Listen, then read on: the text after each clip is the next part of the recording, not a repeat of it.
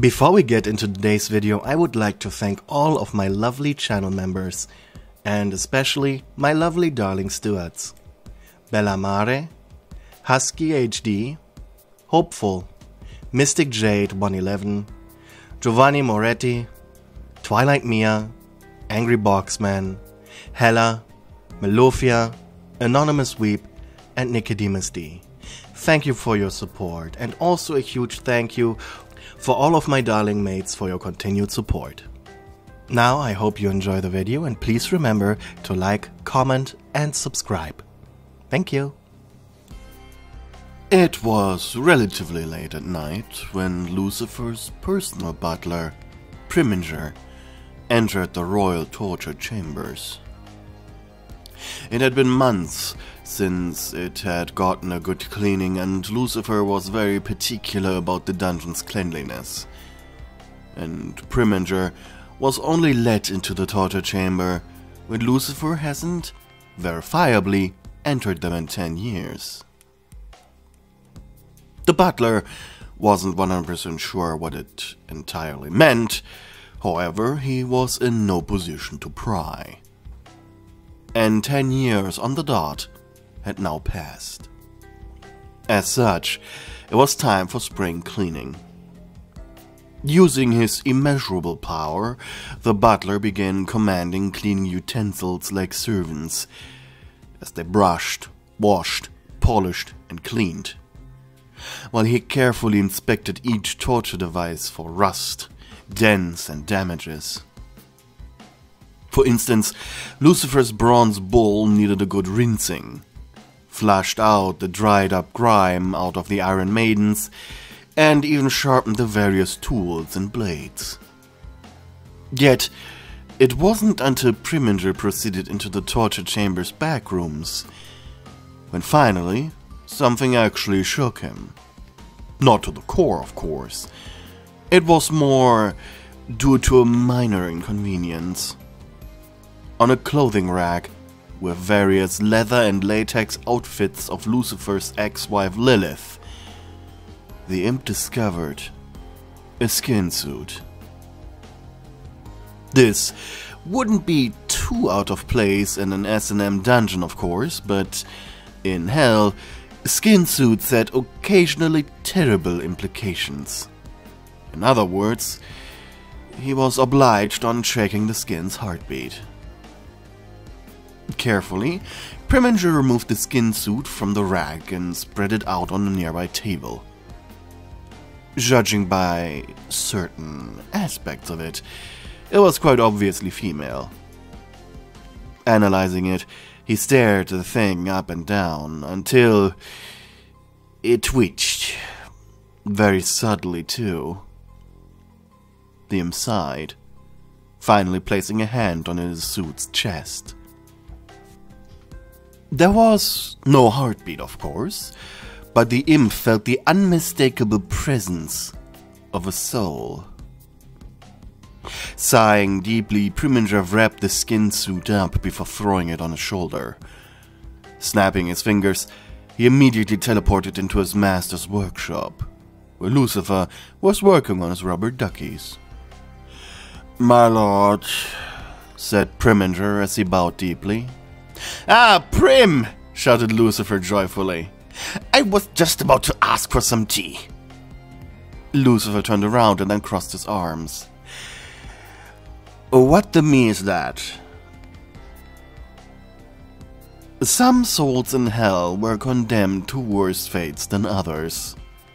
From the common false imp, which was basically just a person with horns, to monstrosities of sin, large, overweight things with hands for a head, eyes bulging out of their stomach, and teeth growing out of their fingertips. But those were rare, a fate reserved for only the most vile of being. Yet some souls were punished harsher for lesser crimes, and those included skin suit demons. As the name implied, they had the appearance of someone's removed skin. And when touched, they felt like cheap latex. But in fact, this thing was a living, breathing soul. Skin suit demons often appeared out of nowhere. No fiery entrance to hell for them. They were found in gutters, sewers, and other dark and miserable places. Their only solace was the fact that they were completely unaware of anything happening around them. They had only one ability, though considering the fact that this ability had no upper ceiling, could be very powerful in the wrong hands. If any sentient humanoid being would wear the skin suit demon, be they angelic, demonic, or once human, in the case someone wanted to, or was forced to wear one of these living suits, they would awaken out of their dormancy once both feet and hands were filled in. Afterwards, the suit would envelop the person wearing them like a warm, soft flesh prison. It would adjust its form to any shape and body size, as long as hands and feet fit, and even accommodate for tails and horns by leaving holes, once fully enveloped. The skin suit would then awaken and take full control over whatever thing wore them. Additionally, any power the wearer possessed would be subsumed by them as long as the skin suit was worn. But why would someone willingly be consumed by such a being? Should the skin suit demon be sedated before being worn, the wearer would keep full motor function and in this state, any experience the demon had would be shared with the skin suit. And things such as drugs, alcohol, and even sex would double, creating a sensory overload and addiction free state of euphoria. Skin suit demons, when discovered, were usually immediately filled with regular garden worms as through years of trial and error, as that was seemingly the only functional alternative to actually being worn by another being. The worms would take on the role of muscles and even condense at the center of limbs to form rudimentary bones. And the skin suit demon Priminger just discovered was in fact you. You went by the name of Poppy, and his loose skin suit had in fact been purchased by Lilith, and then promptly forgotten. Since Lilith was gone already for seven years, plus the three extra years until Priminger was allowed to clean the torture chamber, there was no real point of measurement aside from those ten years. Since you weren't filled with worms, you were in a permanent dormant state and would not know yourself. Lucifer ordered Priminger to fill you up with worms for an interrogation. The slimy beast squirmed within your skin. Priminger was glad his master wasn't seeing this. Your limbs twisted as they were filled with their new mass, churning and squishing as the worms took form. Your right arm swirled around in the air until it blew up like a balloon, and finally, you stood up. You coughed, out of breath. Well, technically not required for your body, it was a reflex from when you were human that was unable to be unlearned. As you gathered yourself, you quickly realized the position you were in, and your hands turned to fists. The butler, meanwhile, raised his head to the side, looking down at you but he relaxed his muscles when he heard the unmistakable noise of tears hitting the stone floor. He stepped next to you. Excuse me, he started. With a haunted expression, you looked up at him. I'm required to ask this. Why are you crying? Your lips quivered. They promised me he had said so quiet it was almost a whisper. That I'd never have to be used as a worm bag again. The imp swallowed a large glob of bile. You're the one who purchased me. I do not purchase demons. I do not require that. Right. You're an imp. Primoge's yellow eyes were judging you harshly.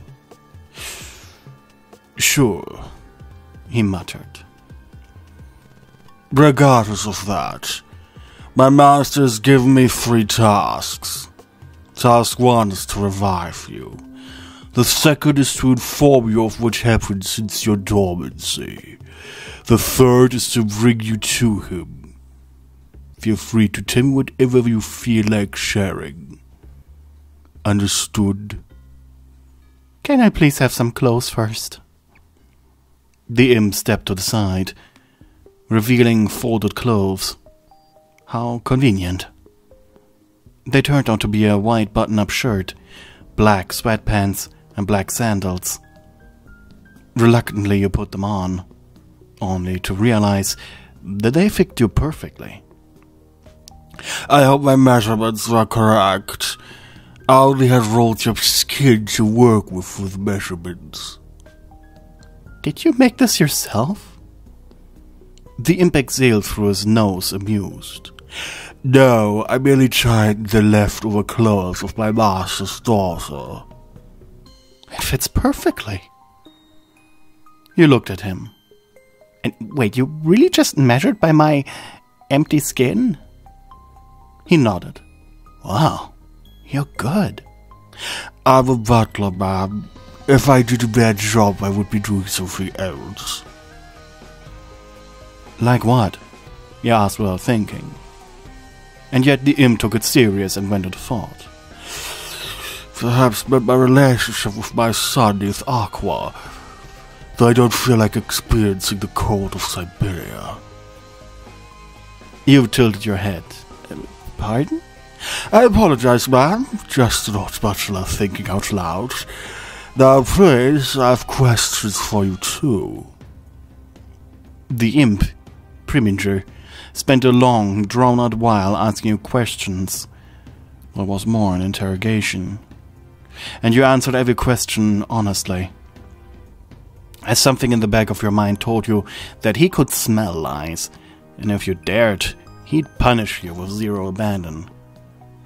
With each answer, however, the imp's demeanor changed. Not by much, no. The emotions he radiated, however, almost made a 180 turn by the time all questions were answered. And finally, you dare to ask a counter question. Where am I? The interrogation had happened in what seemed to be a grand dining hall. Behind you was a large table with white tablecloth and two chairs on it. The ceiling was covered in gold, and paintings of regal looking demons decorated the walls. The only exit, aside from the hall's windows, was a large and red double door behind the table. You are currently located inside the royal castle of the Circle. R- royal castle? Was it purchased by Satan? Preminger shook his head. Uh, to be more precise, his wife, Lilith. Now, if you'll excuse me, I must bring the lord of the house. He must be dying of curiosity. Preminger pointed at the table behind you. You followed his finger with your gaze. Please sit while you wait. Thank you. The imp bowed before you, before snapping his fingers, teleporting away. In a rather matter of fact way as well. No smoke or sound, just instantly vanishing. As if he blinked out of existence. With a foul feeling in your gut, probably caused by the worms or your anxiety, maybe both, you sat down at the table, your hands folded in your lap. But the silence wasn't long, as the door was soon kicked open by none other than Lucifer Morningstar, the devil himself.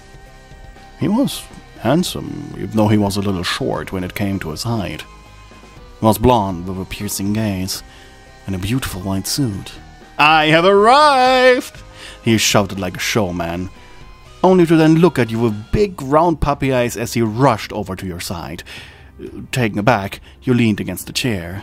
Ah, you must be Miss Poppy, the skin suit, right? You nodded perplexed. It's good to meet you finally. Uh! Yes, master. From out of nowhere, the imp appeared next to you, making you shriek. Bring us some food, will ya? The imp bowed and vanished just as quickly as he arrived. Now that he is busy, the King of Hell leaned forward, gripping your face, pulling, pinching as he inspected you. You chose not to resist. So you are the last thing my wife purchased before she vanished. Hmm. He then stepped away with his hands on his hip. He smiled, but you could see a vague pain in his eyes. I want to know all about you. Didn't like the imp? Who, Prim? Ah, well, I didn't listen. Uh, I wanted to hear everything out of your mouth. This was going to be interesting. So let's start with who you were, alright? ordered Lucifer after sitting down at the table. My, my liege? You said that so questioningly. Oh, you were adorable. I love it when Snowborn treat me with respect. You have no idea how rotten most of you are. Keep going. I like being called liege. Uh, um. Well, my liege? Uh, what I'm going to tell you may not be as entertaining as you may think, sir. Still, his face was filled with childlike excitement. Um, okay. Uh, when I was human, I lived in America? Yes, yes, and your primary sin was pride, with your secondary being sloth. Huh? Schizo demons are demons of sloth, and yet you're on the pride layer. As such, your mother's sin is pride, and your secondary is sloth. I. I guess. I mean, it's not my fault my family was rich. what was I supposed to do? Not spend my pocket money? Lucifer nodded. My dad always said I lacked the greed to become rich, so he just gave me money until I stopped bothering him. Um, I died in my 30s, uh, mid 30s to be specific. Sighing, you hung your head for a moment. I was driving drunk. You're right, that isn't anything special, Poppy. Lucifer tilted his head. In life, you probably thought your shit don't stink, huh? You refuse to answer that. Oh well. His questions continued until Preminger arrived with plates of meat, salad, and rice. First placing one before Lucifer and then putting one before you. Seeing the devil eat calculated and gentlemanlike was a stark contrast to his casual and pompous questioning of your character. Meanwhile, you stared at the meat on your fork. It smelled divine, looked juicy, and you really wanted to eat it.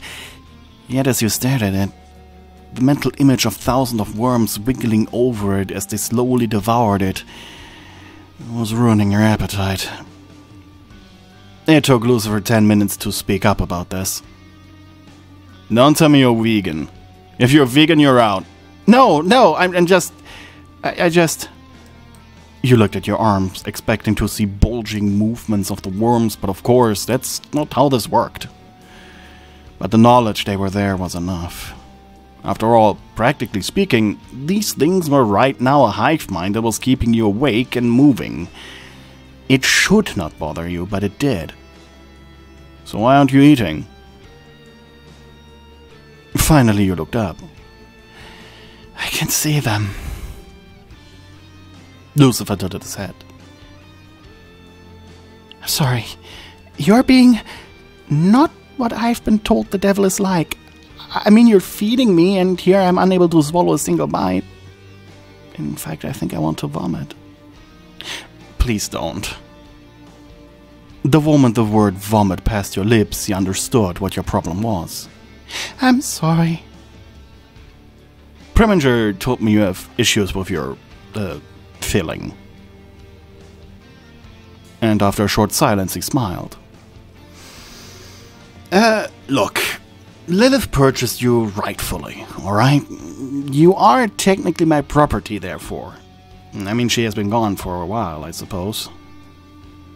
He forced a smile. I guess I just want to know why she brought you. You were in our dungeon, which means. You know. Husband and wife things. You looked him in the eyes. She brought me as a sex toy. He gulped loud enough for you to hear. To be fair, I can see why. It was one of the possibilities the skin seller said could happen to me. I still signed the contract. I was unaware when she brought me. I didn't even know I was purchased in the first place.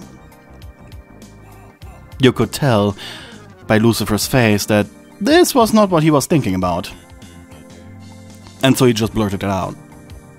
Do you think she wanted me to wear you? This caused you to blush hard. Well, it was possible for a female skin suit to be worn by a man. In fact, it actually worked. Probably better than intended. At least that's what you've been told. Lucifer fell back in his chair.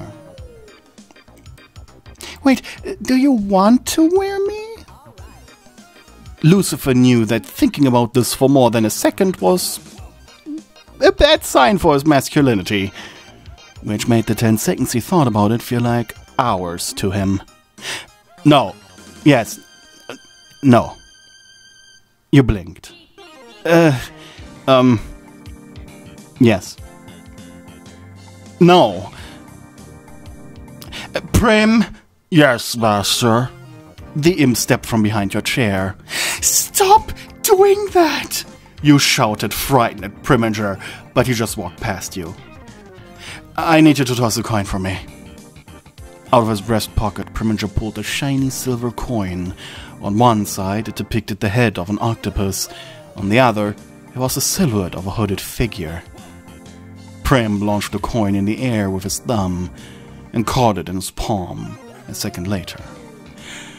It's heads, sire. Lucifer sighed. It was four hours later. Lucifer was sitting on the bed of Lilith's personal quarters, his heart pounding. He was only dressed in his underpants. As for the door, suddenly stepped Preminger unannounced. Sir, I must say this request is unusual even for you. Please, just help me put her on. Preminger rolled his eyes.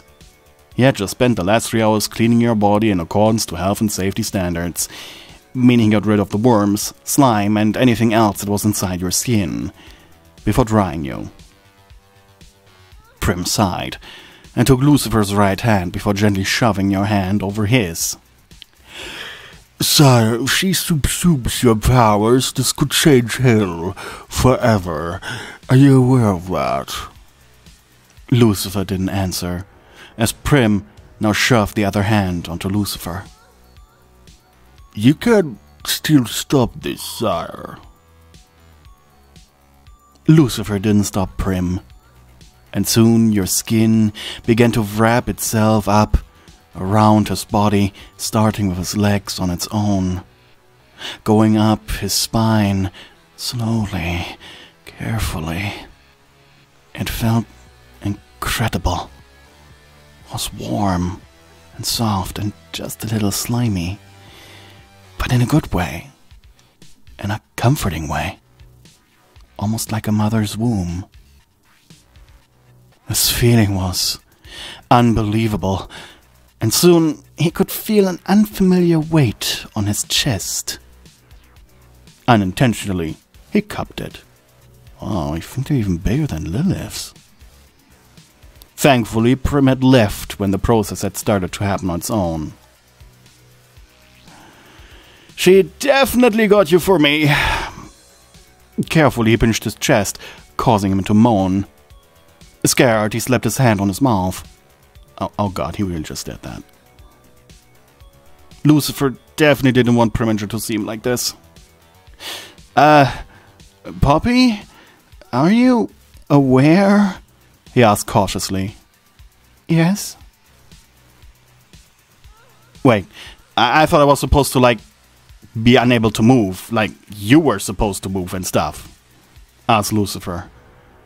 Creepy. The thought that not only was there another person in his head right now, but technically he was in that person's body as well, it was quite overwhelming for his brain.